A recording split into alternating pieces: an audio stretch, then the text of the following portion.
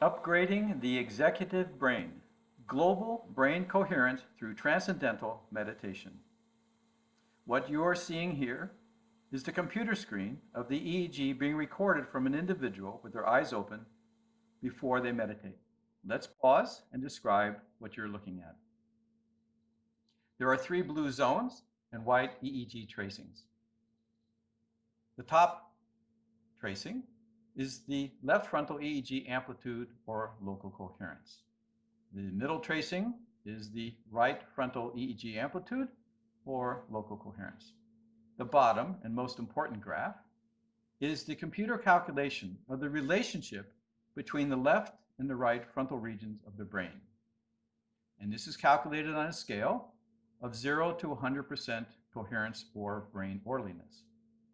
When the white line reaches the top of the blue area, that means maximum brain coherence or maximum brain orderliness. When it goes to the bottom, minimal brain orderliness. In a moment, the individual will be asked to close their eyes and begin this simple practice. And then we'll see what happens.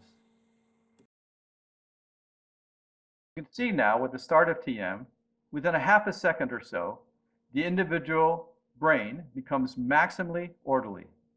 This is extraordinary to have or orderliness coherence above 90%. And this coherence is sustained throughout the practice. This is unique in the sense that the normal range of coherence in the population is 30 or 40%. So we're training the brain to be more and more orderly through sustained high levels of brain coherence. This experience repeated during daily practice of meditation trains the brain to order. This training the brain to order, this unique experience of maximum network orderliness underlies the many documented benefits of this simple, effortless practice.